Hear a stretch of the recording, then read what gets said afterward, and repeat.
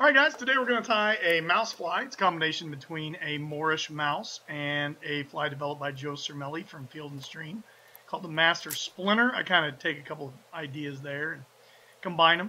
First thing we're going to do is tie in a rabbit strip. I use a natural um, rabbit strip, just natural hair.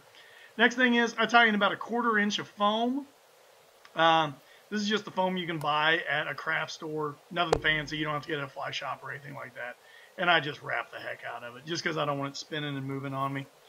All right, we're going to tie in the same type of uh, kind of mouse-colored rabbit strip.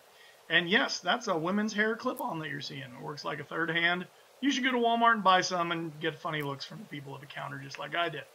All right, we're going to wrap this forward on the foam. Now, what makes this fly different than the Morrish, or sorry, than the uh, Master Splinter is that the the foam isn't as wide as on a Master Splinter. I kind of go thin, kind of like on a Morrish mouse. If you don't know what I'm talking about, you can look them up, Google them. The internet's on the computer now. All right, so we're going to kind of start to form a head and get a nice kind of dam up there. Tie that rabbit strip down real good. Part the hair just like you part the hair on your doggone head. Now we're going to wrap that, or take that foam. We're going to pull it forward. There's the notorious hair clip again. This time we're using beaver fur. That's right, beaver on a mouse. All right, we're just going to dub it a little bit.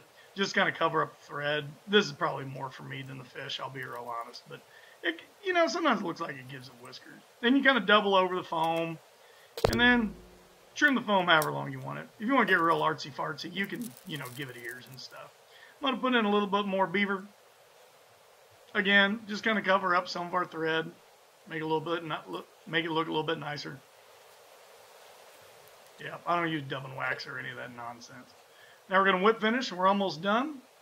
Um, what I like to do here at the very end is to uh, trim off all of the hair on the tail and just leave a little tuft on the end. Unfortunately, I picked a dull razor to do this in the video, so this is going to take a little while. It really shouldn't take this long in real life, and you probably don't have to get real, real careful with this because if you're throwing this at, at, night for brown trout, or if you're throwing this for farm pond bass, they're not going to really look the tail over real carefully. Again, I'm probably getting a little OCD with this, but whatever. Uh, so there you go.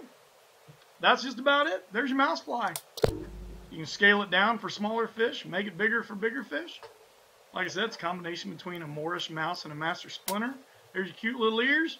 Now go throw it at your girlfriend and or your wife and see if they jump, and if they do, by golly, you did a good job.